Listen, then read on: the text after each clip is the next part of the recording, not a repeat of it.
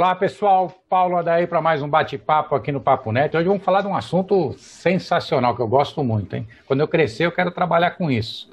Vamos falar de impressão aditiva ou, no popular, impressão 3D.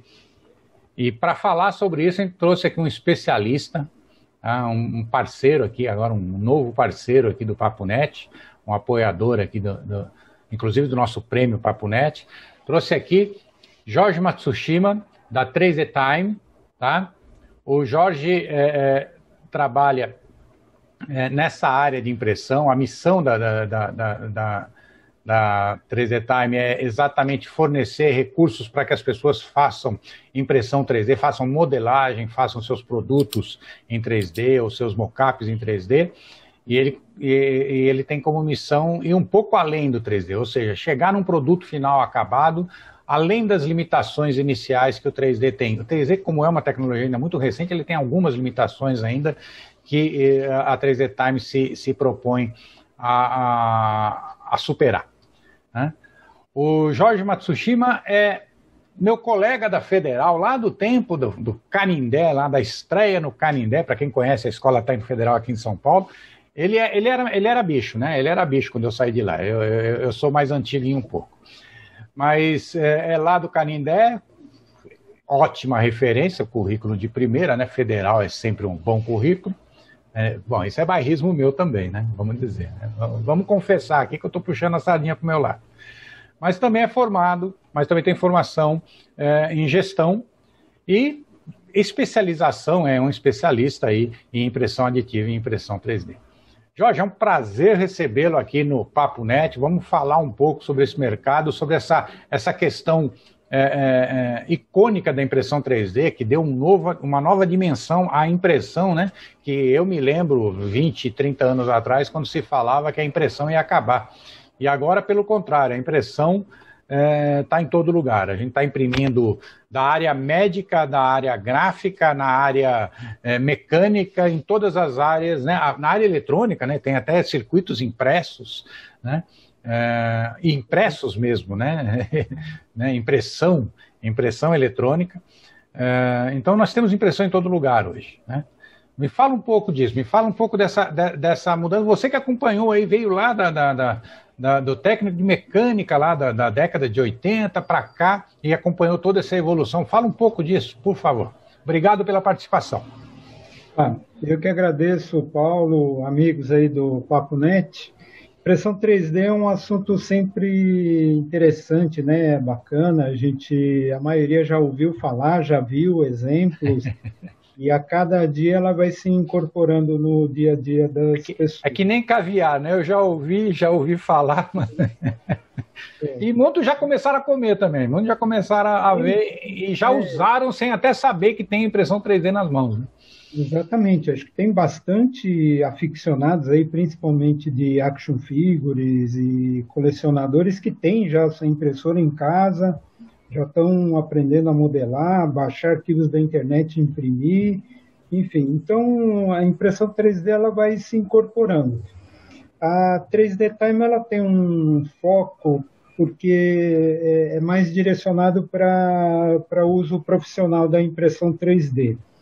Porque, embora seja relativamente acessível hoje você comprar uma impressora 3D e ter ela dentro da sua empresa, é, o, os passos para que você consiga de fato tirar a peça que você está precisando, ele é um pouco lento. O processo de aprendizado é um pouco, é, eu não diria muito complexo, mas ele tem muitas variáveis. Então, até você conseguir combinar todas essas variáveis de um modo bem prático para o dia a dia, a maioria das pessoas, das empresas, não tem recurso para isso. Contratar um profissional só para fazer impressão 3D. Então, muitas vezes é, a solução melhor seria terceirizar o processo da impressão. Tá? Então, a 3D Time enxergou esse nicho há três anos atrás, nós não estamos tanto tempo assim no mercado, né? agora quatro anos já completamos. Sim e a gente se especializou nisso, de oferecer uma solução muito rápida para o cliente, que tem um arquivo tridimensional, um arquivo 3D, ou às vezes não tem o arquivo, a gente cria esse arquivo 3D e entregar a peça final. Esse é o nosso principal foco. Perfeito. E a, me diga uma coisa, a, essa, essa esse mercado, né, ele, ele começa muito, uh, você falou para aplicação profissional, né? E a gente vê, Sim. por exemplo, um parceiro de vocês que é a Mimac, ela tem máquinas lá que imprimem em cores, em, em, em milhares de cores, com nuances, com, com bastante sofisticação. E, e, o pessoal que, eh, de robista, os makers, né, eles trabalham numa, num patamar bem mais, é, bem menos exigente em termos de qualidade, né? Muitas vezes com uma cor só ou com algumas poucas cores que ele vai trocando lá o, o, o, o, o espaguete, né? Vai trocando lá o macarrãozinho lá e vai, e vai mudando a cor. É, então é, um, é, uma gama muito ampla, né, de, de, de aplicação do 3D, né? E mesmo, e mesmo para os setores onde ele se aplica, né? Ah, a, se fala muito hoje, tem uma certa, não diria confusão, mas uma certa é, é, área cinza, né? Se a impressão 3D poderia ser classificada como uma extensão da impressão tradicional que nós temos.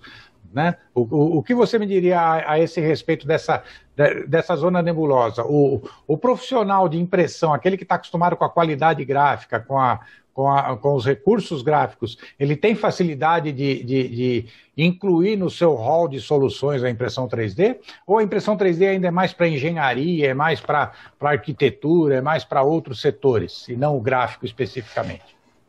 Olha, Paulo, é uma ótima pergunta essa, né? A impressão 3D, acho que ela, ela abre um leque de possibilidades, de soluções, eu acredito que para qualquer segmento. Tá? Eu vou tentar ser bem objetivo em apresentar alguns exemplos, mas, Sim. por exemplo, dos... oh, seria ótimo se você apresentasse um exemplo, com certeza. A indústria ela consegue cortar um caminho extraordinário assim, em relação a tempo e custo de desenvolvimento, partindo de um objeto que está no computador em 3D já para peça física. É, antigamente, vamos supor que é uma peça injetada, a pessoa tinha que, a empresa tinha que fazer um molde fazer o tryout para ver se era aquilo mesmo e depois fazer o ajuste no molde. Eu, eu comecei em engenharia de produto e na minha época a gente não tinha nem no computador esse arquivo. Na verdade, a gente fazia esse arquivo numa prancheta. Isso. Ou seja, a gente fazia o desenho técnico numa prancheta e mandava para alguém. E às vezes esperava um ano e meio para vir um protótipo em, em, madeira ou em argila, ou seja lá no que fosse. Era muito. De... O, o tempo para se chegar a um, a um protótipo era enorme, era gigantesco.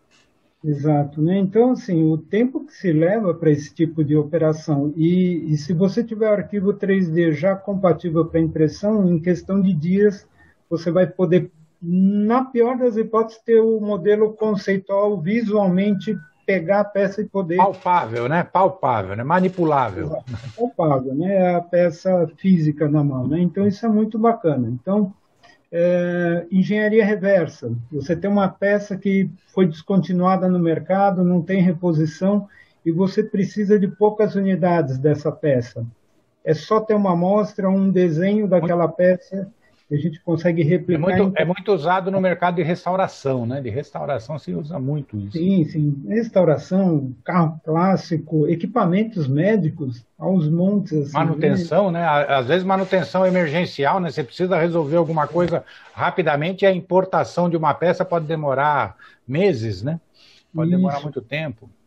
É, então, um exemplo aqui, ó, um botãozinho, isso aqui aciona um, um equipamento médico um botão simplesmente de controle, né? Tem uma e é uma peça que não tem mais reposição. Quanto custaria fazer um molde para imprimir 20 peças, que é o que o cliente precisava, né? E aqui não, foi só fazer um desenho e a peça já saiu pronta. Já saiu.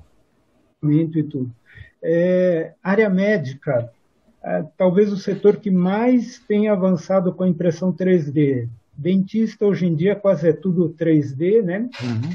Não precisa mais fazer aquelas formas com geleia, com gesso tal. Hoje é só escanear a boca do paciente, gera os modelos 3D e já imprime uh, tanto a prova quanto a, a, a, prótese final com impressão 3D, né? Com, com, diversos tipos de tecnologia, mas é um avanço. Uh, órteses e próteses, a gente tem vários casos aqui de desenvolvimento. Um bem conhecido é de uma startup lá do Nordeste que chama Fixit. São próteses, esse aqui é um para imobilização de punho, né? Para tentar substituir o gesso com N vantagens, quer dizer, sai muito simples numa impressão. É, na parte de marketing, troféu, brinde personalizado, é, é, são peças, né, placas comemorativas, enfim, mascotes. Customização enfim. em geral, né? Você faz uma customização de objetos em geral. Aqui eu tenho, vou pegar um modelo aqui, são vários, de uma empresa de videogames. Isso aqui é uma, é uma das personagens do videogame deles. Nossa. E o parece... acabamento parece de primeira, né? Tá detalhadíssimo. Isso. isso aqui foi feito com equipamento da Mimac. Tá aqui que você comentou ali no início. Sim, sim. Ela consegue uma paleta até de 10 milhões de cores. 10 Quer milhões dizer, de cores. Impressionante, né? Com detalhes. Eu, de... eu enxergo umas 100 mil no máximo aqui. Eu não enxergo mais. 10 milhões está mais do que o suficiente. É muito mais do que o suficiente, né?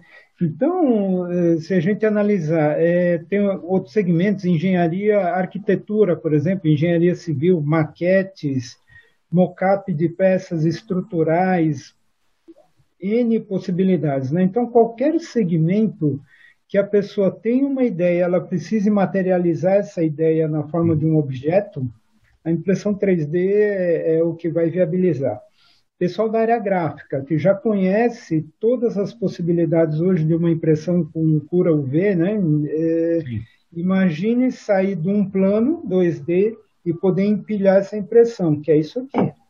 Isso aqui nada mais é que uma impressão gráfica com tinta Sim. com cura UV em várias camadas, né? Então, várias é camadas. Bacana, é um complemento interessante.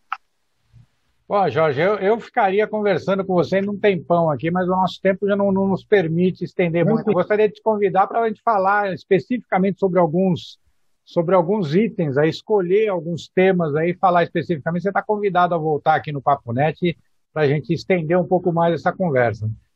Por enquanto, eu gostaria de deixar o espaço para você se despedir dos nossos seguidores aí e deixar no, novamente reiterar o convite aí para você voltar aqui no Papo Net. Opa, com a maior satisfação, Paulo. E as pessoas da área gráfica e empresas de comunicação visual é, tem sido uma parceria muito complementar. Tá? Muitas vezes nós precisamos de serviços de impressão gráfica e as gráficas, empresas de comunicação visual recorrem a 3D Time para atender uma demanda específica de impressão 3D. Então a gente fica disposição. Me, me ocorreu agora uma pergunta, né? É, acontece casos de envelopamento de uma impressão 3D? De, de, de você Sim. fazer uma impressão 3D e depois fazer o envelopamento dela para dar um acabamento mais aprimorado? Eu, envelopamento eu não lembro, Paulo. Adesivação, eu... né? Adesivação, na verdade. Sim, adesivação sim, e eu tenho casos de impressão UV sobre impressão 3D. Ah, é? Isso, Olha. Também fala sobre isso. A Mimac tem um equipamento muito interessante. Ah, vamos, isso. Vamos fazer um episódio só, um bate-papo só sobre isso, então, é para mostrar algumas coisas nesse sentido, que parece muito interessante isso. Combinado. Combinado. Pessoal. Abraço para o pessoal aí do Papo Net. Ah. Pessoal, esse foi Jorge Matsushima, da 3D Time, tá? Falando aqui para o Papo sobre impressão 3D. Tá? Nós vamos deixar aqui os, os, os links, os contatos aqui para vocês entrarem em, em contato diretamente com eles, aqui na descrição do vídeo. E como eu sempre digo, se vocês gostaram, deem seu like, deem seu dislike se viram alguma coisa que a gente pode melhorar, podem criticar, podem é, é, dar sugestões. Se acharam que é importante a informação que tem aqui, compartilhem nas suas redes sociais. É, hoje a gente tem é, 60%, 70% dos acessos do Papo Net vindo de, de, redes sociais, como o WhatsApp, o Facebook, é, é, são links colocados aí, compartilhados é, entre as conexões das pessoas que assistem a gente aqui. E como eu sempre digo, nós somos uma sociedade colaborativa, né? E foi colaborando que a gente construiu a civilização. Né? A gente construiu cidades, aldeias, estados, países, impérios, sempre trabalhando em conjunto. E pela primeira vez na história da humanidade, a gente tem as ferramentas tecnológicas para complementar essa colaboração, sem nos importarmos com isolamento social, distanciamento pessoal, fronteiras ou até mesmo idioma. Então, utilizem as novas ferramentas para se comunicarem, colaborarem cada vez mais e construir uma sociedade cada vez melhor. Se ainda não se inscreveram, no, no, no nosso canal, se inscrevam, ativem as notificações para serem avisados dos próximos episódios aqui do Papo Net. Obrigado e até a próxima.